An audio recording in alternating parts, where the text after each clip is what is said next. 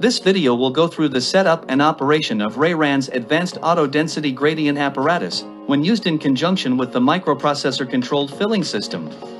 From the back of the filling system, you see the fluid outlet tubes that join together to create a single mixture from the two peristaltic pumps, and the inlet tubes that supply the pumps with your pre-prepared light and heavy fluid mixtures. Both fluid mixtures need to have as little gas as possible dissolved within them, achieved through repeated boiling of the fluid or degassing with a vacuum pump. Their respective fluid densities can be confirmed with a handheld densimeter to ensure that are at either end of your working density range. These fluid densities, as well as the desired column density range, are entered into the filling system via the Densities tab in the column filling section of the on-screen menus. The best approach is to set your top and bottom densities to values that sit just inside the range set by your light and heavy fluid densities. Moving to the Volume tab, a total column volume must be entered, along with the amount of fluid buffer you want to use at either end. Each column can hold approximately 2 liters of fluid, so depending on the amount of fluid you have available, a typical column will be 1,400 to 1,800 milliliters. Buffers are typically 50 to 150 milliliters. Calibration of the pumps shouldn't be necessary, so you can move straight to the Configuration tab. This is where the internal volume of the tubing attached to the filling system needs to be entered. The filling system manual describes how this value should be calculated during initial setup of the equipment. Also, be sure to correctly select whether you are filling from the top or the bottom of the column at this point. It's now time to commence filling. If you are filling from the bottom of the column, it is advised that you swap the filling system's diffuser for the smaller diffuser supplied with the density gradient apparatus to minimize disturbance of the fluid when the filling tube is removed from the completed column.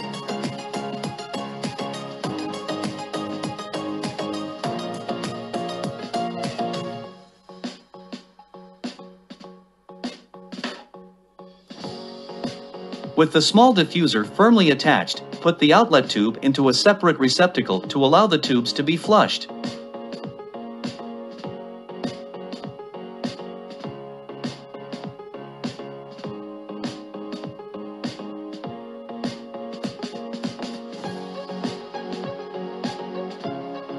On starting the fill, the system will show you how many milliliters of heavy and light fluid you require to complete the column, so take the opportunity to ensure you have prepared enough for the column you have programmed. Confirming the outlet is in a waste receptacle, the tube flushing commences, shown sped up in this video.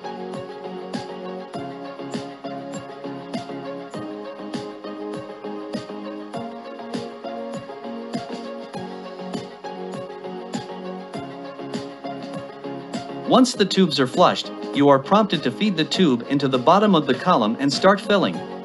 The diffuser ensures that the flow of the liquid is evenly distributed, preventing any mixing currents in the test tube.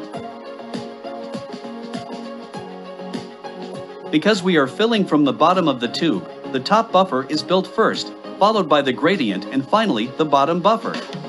The changing ratio of fluids being used is shown throughout the gradient fill.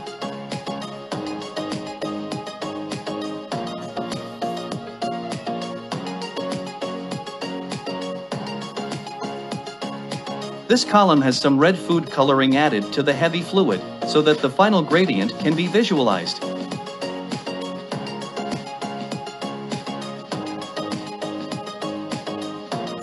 Once the filling is complete, the pipe must be removed very slowly and carefully to minimize disturbance of the final column gradient.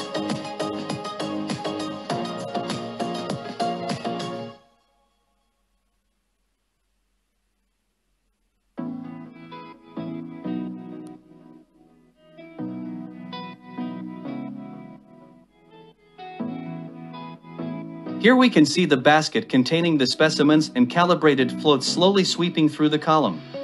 Objects will remain suspended at the point where their density matches that of the fluid gradient, leaving the basket.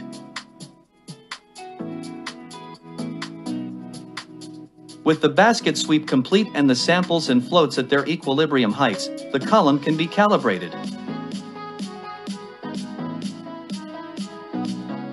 Simply zero the scope by moving it to the top of its travel before training it onto your first float, setting the position and entering the density value of the float. Move on to all subsequent floats, setting the position and entering the respective value to create your final calibration gradient line.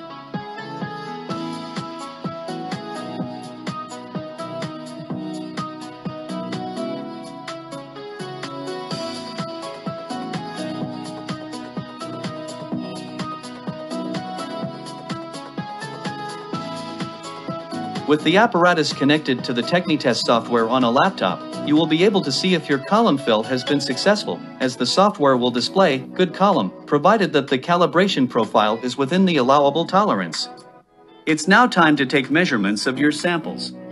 Simply train the scope onto a sample and select Read from the microprocessor keypad.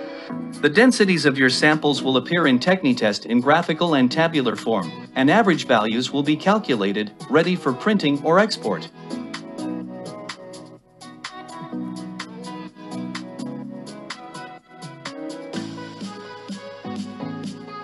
The fluid density gradient technique offers unrivaled accuracy for density measurement of small objects and the combination of the Ray-Ran density gradient apparatus and microprocessor controlled filling system provide a solution that is the fastest, most reliable, and most user-friendly option in the marketplace.